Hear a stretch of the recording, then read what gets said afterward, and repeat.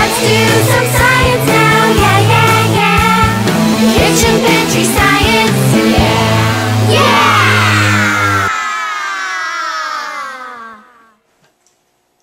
I'm Liz Heinecke, the kitchen pantry scientist, and I'm here today to show you how to make these amazing window jellies that combine science and art in an awesome project that everyone will love.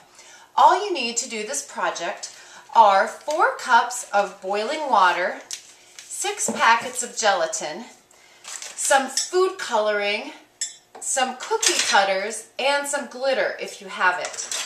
Now, dissolve six packs of gelatin in the water, mix it up really well, make sure it's all dissolved, and then pour the molten gelatin into each of two big containers. You could also use a big cookie sheet.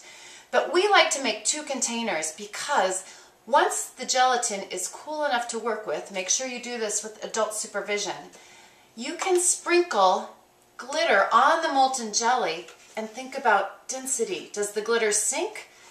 No, it floats, it stays at the top of the liquid. Now, density and shape affect whether something will float or sink. So think about that as you add your glitter to your gelatin. Let it solidify. Also, let the other pan of gelatin that you poured solidify. And then we start a project that explores diffusion. What you'll do for this part of the project is take your gelatin, it's solid now, right? Feels like finger jello. Take a straw and poke a whole bunch of holes in the gelatin. Now, if you have trouble getting the little plugs out, we want little holes to put food coloring in. So if you have trouble getting the little plugs out, you can use a toothpick or a skewer. But make a whole bunch of little holes in the gelatin like my daughter has done here. Then take your food coloring and drip a different color of food coloring into each hole. We like to scatter them around because it looks really neat. Now, Diffusion happens when there are areas of high concentrations, lots and lots of molecules in one small place, and they move out into the, their surroundings to areas of lower concentration. That's called diffusion. And what will happen is you will add your food coloring to your gelatin and then you'll let it sit overnight.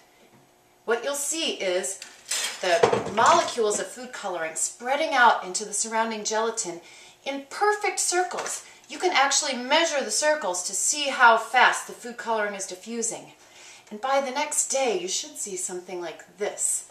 Now, once you have your gelatin with glitter in it or with food coloring in it that's diffused, you can take cookie cutters and cut fun shapes out of the gelatin.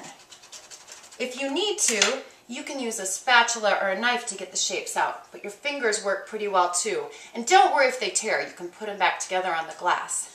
Then, ask an adult's permission, but then you can put your shapes on a window. This is the fun part. They will stick there, and what happens as they sit is that the water evaporates out of the gelatin, leaving you with cool, shrinky dink or stained glass like shapes.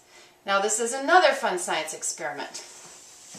Take your shapes that the water has evaporated out of and put them in a glass of water.